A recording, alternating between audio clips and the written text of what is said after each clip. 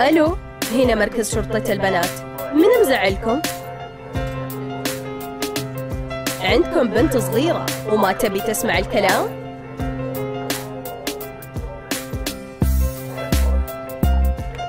وش اسمها؟